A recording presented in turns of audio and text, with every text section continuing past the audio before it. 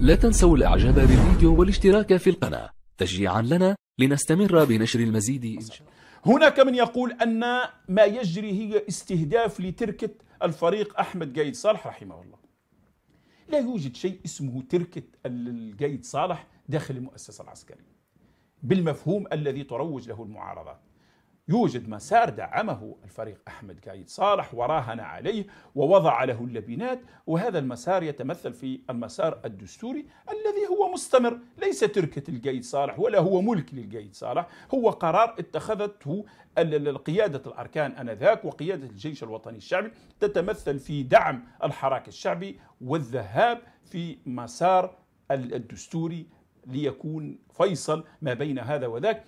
في ذلك الوقت أن الشارع الجزائري دخلته عدة تيارات وإذا لم يكن هناك مسار آمن مضبوط وحتى أمام المجتمع الدولي الأمور ستذهب إلى الانفلات. وهذا خيار استراتيجي أيدناه وما زلنا نؤيده لأنه هو الحد الفاصل ما بين الشارع والجيش في ذلك الوقت. لأنه لو أن الأمور مشت مثل ما أرادها المتطرفون والغلاة الذين اخترقوا الحراك الشعبي وأرادوا استغلاله لأهداف أخرى لا تتعلق بالتغيير في الجزائر بل لاستراتيجيات وأجندات وحسابات بينها التي تمتد إلى التسعينات لوصلت الأمور إلى التعفن وربما المواجهة بين الأجهزة والجيش والشعب وربما ندخل في دوامة حرب أهلية أخرى ندفع ثمنها غاليا.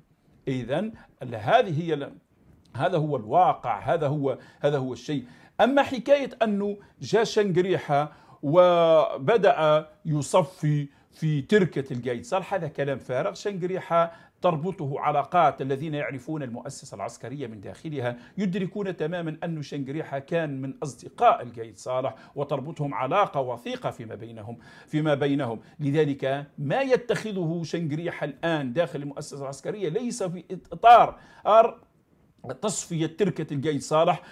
أو أنه القيد صالح كان رجل فاسد والآن هذه المرحلة مرحلة تجري محاسبته وما إلى ذلك كما تروج بعض بعض الآراء التي لا تستند على على على منهج آه، نقدي بناء وفعال ووفق منطق يتماشى مع الحقيقة التي يمكن أن تقترب من الأذهان. بل الأمر كل ما فيه هي أنهم يروجون حتى يضربون حتى يقولوا قايد صالح أنه الخيار الذي اتخذه القايد صالح كان خيار فاسد لأنه رجل فاسد فاسد فاسد وانه ما يجري الآن أنه حرب بين فاسدين وما إلى ذلك وهذه الأسطوانة ستطول وتمشي ولن تتوقف عند هذا الحد.